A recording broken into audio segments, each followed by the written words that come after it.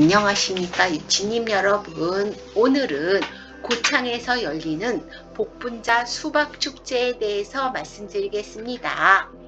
축제의 일환으로 요리 경연대회가 개최가 됩니다.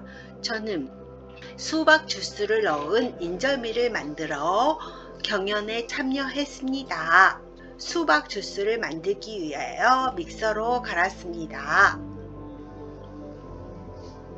찹쌀가루에 수박 주스를 넣고 반죽을 만들었습니다. 수박 향이 가득한 예쁜 반죽이 되었습니다. 반죽을 찜기에 넣고 찌고 있습니다. 쫄깃쫄깃하게 반죽을 치댄 다음에 콩가루를 묻히고 있습니다.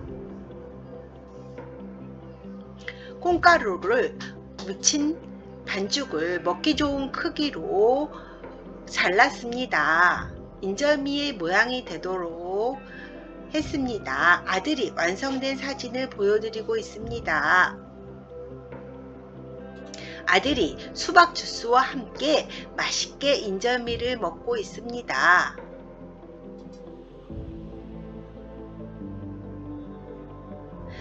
수박을 넣은 인절미 요리에 대한 레시피입니다.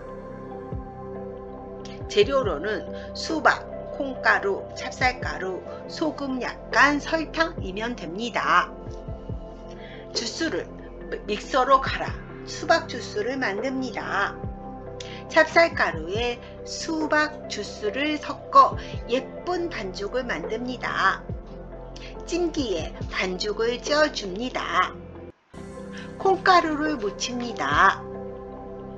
인절미 모양으로 썰어줍니다.